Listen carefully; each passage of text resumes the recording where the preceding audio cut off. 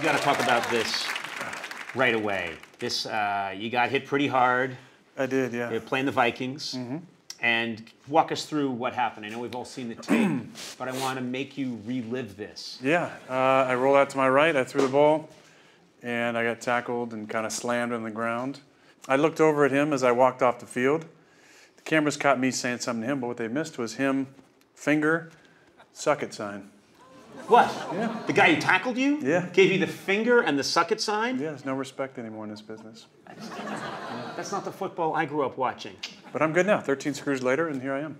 Uh, 13 screws later, right? Let's talk about you as a gamer. People know that you're an amazing quarterback, an incredible athlete.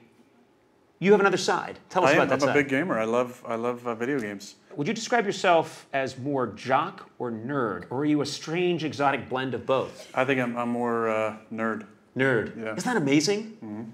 You're a nerd that could beat up other nerds. 100%. That's fantastic. That was always my dream, is to be the nerd who could savagely beat other nerds Yeah. and uh, score the winning touchdown. Could be a nerd who could beat up other jocks too. That's even better. I would be the nerd that would beat up jocks. That's a Yeah. fantastic. That's what That's you what are. I was going for. You're the nerd that beats up jocks. This is a movie. A movie that, by the way, I'm just gonna. I'm not cutting you in for any of it. Yeah, I don't want to be. Yeah. Well, don't say that. Say I'd love to be in. it. I've seen a couple of your, your movies. Okay, uh, that's. I made a movie. It was in Biodome 3, but that was cut out. Let's say you and I were in a fight. Hmm. Who do you think would win? This is hypothetical, right? Yeah. Be honest. Be completely honest. Like a fight. And there's no other parameters, just me and you fighting. I have a stick, and you're not ready for the fight. You're not paying attention.